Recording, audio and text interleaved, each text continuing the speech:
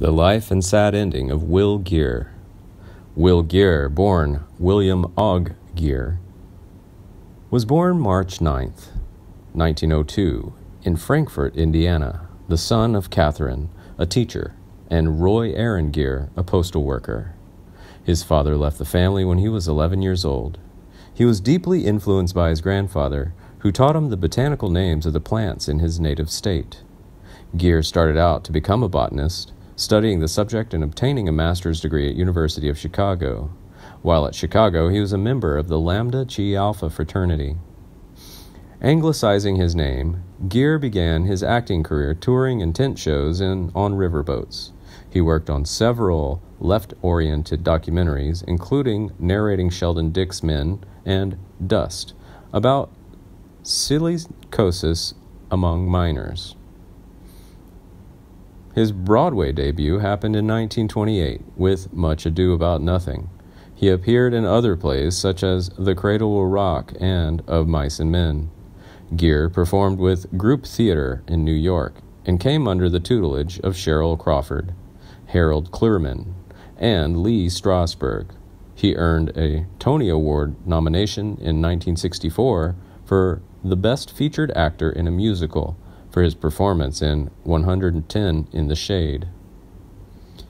During the 1930s, he toured with government work camps of the Civilian Conservation Corps, accompanying folk singers such as Woody Guthrie and Burl Ives.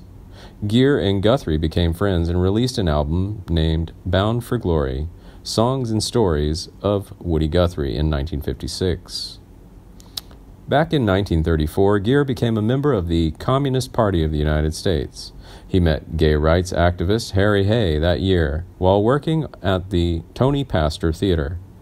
Geer became romantically involved with Hay and remained an influential in introducing the latter to the operations of the Communist Party.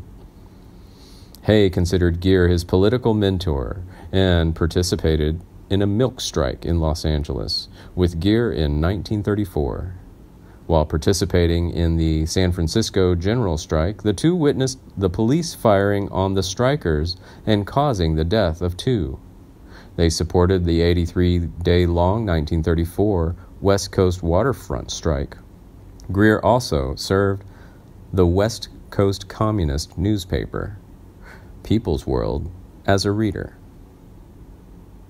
Then he played Mephistopheles, the devil, in Norman Corwin's radio play The Plot to Overthrow Christmas in 1938 and 1944. He also portrayed Penny in the radio soap opera Bright Horizon, which ran from 1941 through 1945. Next, he appeared in movies such as Winchester 73, 1950, Broken Arrow, same year, and Bright Victory, 1951. His career, however, took a back seat after Geer was blacklisted in the early 1950s for refusing to testify before the House Committee on Un American Activities. As a result, Geer appeared in very few films over the next decade. Geer gradually revived his entertainment career with some memorable performances.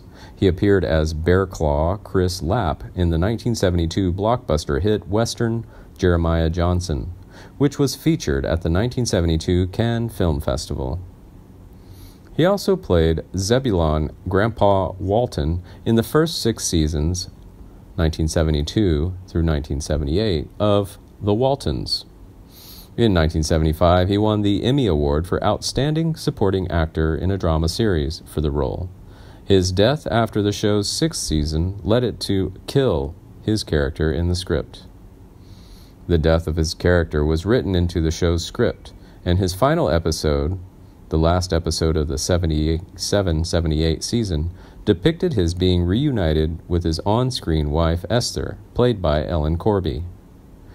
In his personal life, he married American actress and political activist Herta Ware in 1934. Actress Herta Ware was best known for her performance as the wife of Jack Gilford in the film Cocoon in 1985. Geer and Ware had three children Kate, Tad, and Ellen. Although Geer and Ware eventually divorced, they remained close for the rest of their lives. As Will Geer was dying in April 22, 1978, of respiratory failure at the age of 76, his family sang Woody Guthrie's This Land Is Your Land and recited poems by Robert Frost at his deathbed.